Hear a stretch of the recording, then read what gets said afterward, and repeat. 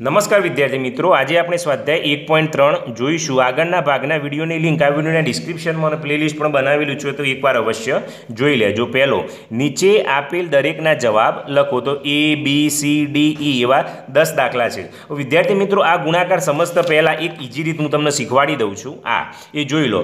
જ્યારે બંને ધન હોય, તો જવાબ ધન જ આવશે, ચાર પંચોવીસ જ્યારે બંને પૂર્ણાંકો ઋણ હોય, ત્યારે ગુણાકારમાં જવાબ ધન જ આવે. પણ જો કોઈ પણ બંનેમાંથી એક ઋણ હોય તો જવાબ ઋણ આવે. આ ત્રણ નિયમો તમને આવડશે, તો આ બધા જ ગુણાકાર આવડવાના છે. એટલે આ ત્રણ નિયમો તમને મેં સમજાવી દીધા. હવે આપણે શરૂઆત કરીએ. ચલો, અહીં જુઓ. પહેલો, ત્રણ ગુણ્યા ઋણ એક. આમાં આમ જ્યાં સુધી શક્ય હોય ત્યાં સુધી આમ જ લખીશ. તો એક ધન છે અને એક ઋણ છે. બરાબર? તમે જુઓ, તો કયો નિયમ લાગવું પડશે? આ નિયમ લાગવું પડે, તો ઋણનો જવાબ આવે. તો ત્રણ એકા ત્રણ આ, પણ ઋણ આવશે. એટલે ઋણ ત્રણ જવાબ આવશે. ચલો, બીજો જુઓ. ઋણ એક ગુણ્યા બસો પચીસ એટલે એક ગુણ્યા બસો પચીસ કરો એટલે તો બસો પચીસ આવે. બરાબર, એ તો આવી ગયો. પણ બંનેમાંથી એક જ ઋણ છે એટલે જવાબ કેવો થઈ જશે? ઋણ બસો પચીસ થશે. હવે એકવીસ ગુણ્યા ત્રીસ, તો આ આ ગુણાકાર કરો એટલે ત્રણ એકા ત્રણા ત્રણ દુ છ, અને આ મીંડું હતું એ છસો ત્રીસ આવ્યા હવે બંને ઋણ હોય તો ધન થઈ જાય. મેં તમને શીખવાડી દીધું. જો બંને ઋણ હોય તો ધન થાય. બરાબર? તો અહીં પણ છસો ત્રીસ ધન થઈ જશે. ત્રણસો સોળ ગુણ્યા એક એટલે ત્રણસો સોળ જ જવાબ આવે વિદ્યાર્થી મિત્રો. બંને ઋણ હોય એટલે શું થઈ જાય? ધન થઈ જાય. હવે, ઋણ પંદર ગુણ્યા જીરો ગુણ્યા ઋણ અઢાર. તો આનો જવાબ ડાયરેક્ટ આવે વિદ્યાર્થી મિત્રો કઈ રીતે? તો આ ગુણાકારની સંખ્યા છે જીરો હોય એટલે કોઈ પણ ગુણાકારમાં જીરો હોય એટલે જીરો કરી જ દેવાના. કશું કરવાનું નહીં. બરાબર છે? અહીં જીરો હોય એટલે જીરો કરી દેવાના. હવે એફ છે, એ ત્રણ રકમનો દાખલો છે, એટલે હું તમને એ આમાં સમજાવું, ઓકે? ચલો, અહીં જુઓ. એફ ઋણ બાર, ગુણ્યા ઋણ અગિયાર, ગુણ્યા દસ. હવે વિદ્યાર્થી મિત્રો, પહેલાં આ બેને લઈએ આપણે. એવું નથી કે આ બેન જ લેવાય આને લેવો હોય, પહેલાં આ બેને લેવા હોય, તો પણ લેવાય. હું તમને એક શીખવાડીશ એ હાલ જ, બરાબર? પછી બીજા નહીં શીખવાડું, પણ આ શીખવાડીશ. બંનેના જવાબ સરખા જ આવે. તમારા મનમાં એવું થાય કે સાહેબ તો આ જ પહેલાં બે હોય છે, પણ એવું ના હોય, આ બે નહીં લેવાય. ગમે તે બે લેવાય. વિદ્યાર્થી મિત્રો, તમારી પદ્ધતિ સાચી હોવી જોઈએ. હવે તમે જુઓ. બાર ગુણ્યા અગિયાર, તો કેટલા આવે એ પહેલાં આપણે નક્કી કરીએ? અહીં હું સાઈડમાં તમને દેખાય છે ને ઓકે તો બાર ગુણ્યા અગિયાર. એટલે જીરો એક છે એટલે બાર જ આવશે, અહીં એક છે એટલે બાર આવું તો બે બે ને એક ત્રણ, એકસો ને બત્રીસ આવે હવે સવાલ થાય, ઋણ આવું ધન આવું? તો બંને ઋણ છે એટલે ધન આવું. ગુણ્યા દસ એમના એમ પડી રાખવાના. તો બંને ધન છે એટલે તો ધન જ હોય. એકસો બત્રીસ ગુણ્યા દસ એટલે એક હજાર ત્રણસો વીસ જવાબ આવે, વિદ્યાર્થી મિત્રો. કેટલો જવાબ આવશે? તો એક હજાર ત્રણસો વીસ જવાબ આવે. તમારા મનમોખ સાહેબ આ ચમ લીધા? ચલો એક આ એક્સ્ટ્રા તમને સમજાવી દઉં. ઋણ બાર ગુણ્યા ઋણ અગિયાર ગુણ્યા ઋણ દસ. તો આ બેને લેવા હોય, તોય લેવાય હો. એની કોઈ એવું હોય ને ઋણ બાર પડ્યા રાખો. ગુણ્યા હવે તમે જુઓ, એક ઋણ છે, અગિયાર ગુણ્યા દસ, એટલે એકસો દસ પહેલાં લખી દઉં હું. હવે એક ઋણ છે અને એક ધન છે, એટલે ઋણ આવ આપણે શીખી ગયા છીએ. ઓકે? હવે બાર ગુણ્યા એકસો દસ કરવાના. બરાબર? તો બાર ગુણ્યા અગિયાર કરો એટલે કેટલા આવે? એકસો બત્રીસ આવે. ના, મીંડું તો ચડી ગયું. હવે બંને ઋણ હોય તો જવાબ ધન થઈ જાય. તો તમે જુઓ તો આનોય જવાબ ધન આવ્યો અને આનોય ધન આવ્યો. અને બંનેના સરખા એટલે વિદ્યાર્થી મિત્રો, આગળ પાછળ તમે લો તો એને કંઈ લેવા દેવા હોતા નથી. ઓકે? ચલો આપણે આગળ જોઈએ. જી જોઈએ. તો જીમાં નવ ગુણ્યા ઋણ ત્રણ ગુણ્યા ઋણ છ. બીજો લખી દઉં વિદ્યાર્થી મિત્રો. એ જ. એટલે આપણો વારંવાર ટાઈમ ના બગડે. ઋણ અઢાર ગુણ્યા ઋણ પાંચ, ગુણ્યા ઋણ ચાર. ઓકે? ચલો, અહીં જુઓ હવે. તો પહેલાં આ બે લઈ લઈએ. નવ તરી સત્યાવીસ. આવું એક ધન છે અને એક ઋણ છે, એટલે ઋણ આવશે. ગુણ્યા ઋણ છે એમના એમ. હવે વિદ્યાર્થી મિત્રો, તમે જુઓ, તો સત્યાવીસ ગુણ્યા છ છે. બરાબર છે? તો શું થશે? તો છ સીતો બેતાલીસનો બગડો વધી ચાર. છ દુ બાર, તેર, ચૌદ, પંદર, સોળ, એકસો ને બાસઠ થયા. હવે બંને ઋણ છે એટલે ધન થઈ જશે. એટલે કેટલો આવ્યો? એકસો બાસઠ આવ્યો. ચલો આ જોઈએ. પહેલાં આ બે લઈ લઈએ. તો અઢાર પંચો પહેલાં. બરાબર? તો નેવું થાય. હવે બંને ઋણ છે એટલે ધન થવાના. ગુણ્યા ઋણ ચારને એમના એમ રાખીએ. નવ ચોક છત્રીસ એટલે ત્રણસો ને સાહીઠ થયા. આ એક ધન છે અને એક ઋણ છે એટલે ઋણ આવે એ આપણને ખબર છે. તો પણ ત્રણસો સાહીઠ આવી ગયા. ચલો એચ આવ્યા પછી આઈ આવ્યા તમારા મનમાં થાય સાહેબ, અહીં તો ચાર રકમ છે. તો ચાર રકમથી કોઈ ગભરાવાની જરૂર છે નહીં. આપણે પહેલાં લખી દઈએ. ઋણ એક, ગુણ્યા ઋણ બે, ગુણ્યા ઋણ ત્રણ, ગુણ્યા ચાર. અને પછી જે લખી દઉં અહીં, બરાબર? એટલે ઋણ ત્રણ, ઋણ છ, ઋણ ત્રણ, ઋણ છ, ઋણ બે, ઋણ એક. ઋણ બે અને ઋણ એક. ઓકે? ચલો, અહીં જુઓ. પહેલાં આ બેનું લઈ લઈએ અને આ બેનું એ લઈ લઈએ. હવે એક દુ એટલે દુ આવે. બંને ઋણ છે એટલે ધન થઈ ગયો. આ ગુણાકાર એમના એમ. ત્રણ ચોક બાર. હવે એક ધન છે અને એક ઋણ છે એટલે ઋણ આવશે. બે ગુણ્યા બાર એ બાર દુ ચોવીસ.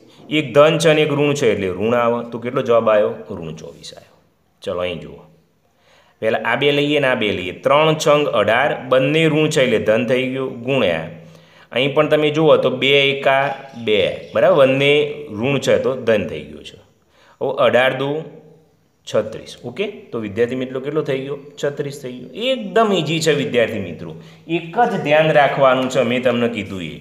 જ્યારે બંને ધન હોય એટલે જવાબ ધન આવે, બંને ઋણ હોય તો પણ જવાબ ધન આવે. બંનેમાંથી કોઈ પણ એક ઋણ હોય એટલે ઋણ આવે. અને કોઈ પણ સંખ્યાનો જીરો સાથેનો ગુણાકાર હોય તો સંખ્યા જીરો થઈ જાય. અને કોઈ પણ સંખ્યાનો એક સાથેનો ગુણાકાર હોય તો જવાબ એ સંખ્યા પોતે આવે. બસ આ નિયમ યાદ રાખો એટલે ભલભલો ગુણાકાર તમને આવડશે. ચલો બીજો જોઈએ વિદ્યાર્થી મિત્રો. શું કહે છે? નીચેનાને ચકાસો. તો વિદ્યાર્થી મિત્રો અહીં આપેલું છે સાદુરૂપ, એને ચકાસવાનું છે. તમારે ગભરાવાની જરૂર નથી, એકદમ ઇઝી છે. સાચું છે કે ખોટું એ ગણીએ તો જ આપણને ખ્યાલ આવે. બરાબર? ચલો એક વખત જોઈ લઈએ. વિદ્યાર્થી મિત્રો, હું નવો કાગળ લઈ લઉં, પેલો ભરાઈ ગયો છે એટલે. ચલો એ લઈ લઈએ. ચલો એક તો અહીં આવી જશે. બરાબર? તો અહીં જ લઈ લઉં હું. પહેલો, અઢાર અઢાર ગુણ્યા મોટા કૌંસમાં સાત વત્તા ઋણ ત્રણ, મોટો કૌંસ પૂરો. આ જે કૌંસ છે ને, વિદ્યાર્થી મિત્રો, એને ડાબા કહેવાય, ડાબી બાજુ. તો હું લખું ડાબા. તો અઢાર ગુણ્યા મોટા કૌંસમાં સાત વત્તા ઋણ ત્રણ. ઓકે? ચલો પહેલાં પતાવી દઈએ. અઢાર એમના એમ રાખું, ગુણ્યાકાર એમના એમ રાખું. આવું તમે જુઓ. તો જો અમુક ગુણ સરવારો છો, આમાં ગુણાકાર ના કરી દે, સાત તરી એકવીસ ના કરી દેતા, ઉતાવળી આવું. અહીં શું થશે? સરવારો છે. તો સરવારાના નિયમો પણ મેં શીખવાડ્યા છે. તમે ના જોયો તો વીડિયો, આ વિડીયોના ડિસ્ક્રિપ્શનમાં લિંકો મૂકેલી છે, તો જોઈ લો અને પ્લેલિસ્ટ પણ મેં બનાવેલું છે. હવે સરવારામાં કેવું હોય? એક ધન હોય ને એક ઋણ હોય એટલે બાદ બાકી થાય. સાતમાંથી ત્રણ જાય તો ચાર આવો. અને મોટો સાત છે એની નિશોની ધન છે એટલે ત્રણ આવો. ઓકે? પછી અઢાર ચોક. આ તો ગુણાકાર આવી ગયો. એ તો આવડે એવું જ છે, બરાબર? અઢાર ચોક બોતેર તો પેલા ડાબાનો કેટલો આવ્યો? બોતેર આવ્યો. જબા લઈ લઈએ. આ બાજુનો ભાગ હોય એને જબા કહેવાય. તો અઢાર ગુણ્યા સાત, મોટા કૌંસમાં, વત્તા અઢાર ગુણ્યા ઋણ ત્રણ. આ પણ મોટા કૌંસમાં. ઓકે? વિદ્યાર્થી મિત્રો, અઢાર સીતો બંને ધન છે એટલે ધન જ આવે એકસો છવ્વીસ. વત્તા એમના એમ. અઢાર તરી, તો અઢાર તરી ચોપન. પણ આ ધન છે અને આ ઋણ છે એટલે ઋણ આવશે. હવે સરવારાનું પાછો લાગવું પડશે.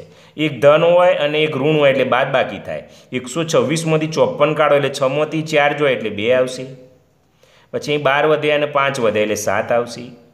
મોટો એકસો છવ્વીસ છે એટલે ધન આવશે. એટલે જવાબ કેવો આવશે? ધન આવશે. તો અહીં પણ બોતેર આવ્યા અને અહીં પણ બોતેર આવ્યા એટલે બંનેના જવાબ કેવા છે?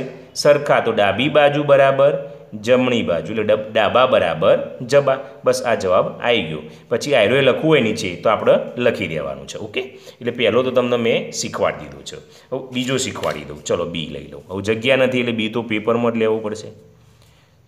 ચલો પહેલો ડાબા લઈ લઈએ. તો ઋણ એકવીસ. વિદ્યાર્થી મિત્રો, મોટા દાખલા હોય તો કોઈ ગભરાવાની જરૂર નથી, પણ આપણે જે સિસ્ટમથી તમે ગણતા હો છો અને સિસ્ટમ રાખવાની, તો તમને કોઈ વાંધો આવશે નહીં. ચલો, ઓકે? ઋણ એકવીસને એમના એમ રાખીએ પહેલાં. હવે આ તમે જુઓ તો બંને સરવારો છે તો છ અને ચાર દસ થાય. બંને ઋણ છે એટલે ઋણ જ રહે. ઓકે? આ ગુણાકાર આવે એટલે એકવીસ ગુણ્યા દસ કરો એટલે બસો દસ આવે. માઇનસ માઇનસ પ્લસ થઈ જાય એટલે ડાબી બાજુ કેટલો થયો? બસો ને દસ થઈ ગયો. ઓકે? જમણી બાજુ જબા. તો જમણી બાજુ કયો છે? મોટા કૌંસમાં ઋણ એકવીસ ગુણ્યા ઋણ ચાર વત્તા ઋણ એકવીસ ગુણ્યા ઋણ છ. ઓકે? તો અહીં જોઈએ વિદ્યાર્થી મિત્રો, એકવીસ ગુણ્યા ચાર, એટલે ચાર એકા ચારા અને ચાર દુ આઠ. બંને ઋણ છે એટલે ધન થઈ જાય વત્તા એમના એમ. અહીં જોઈએ તો એકવીસ ગુણ્યા છ, એટલે છ એકા છયા. છ દુ બાર.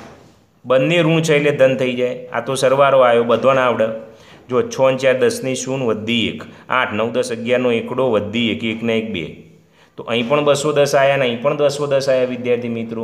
એટલે એવું લખવું હોય આપણે, ડાબી બાજુ બરાબર જમણી બાજુ. કહી શકાય આપણે કહેવું હોય તો? બસ પછી નીચે આપણે લખવું હોય તો આ લખી શકાય, બરાબર? કા આ સક જે આપેલું છે રકમ, માઇનસ એકવીસ ગુણ્યા મોટા કૌંસમાં ઋણ ચાર વત્તા ઋણ છ, મોટો કૌંસ પૂરો, બરાબર.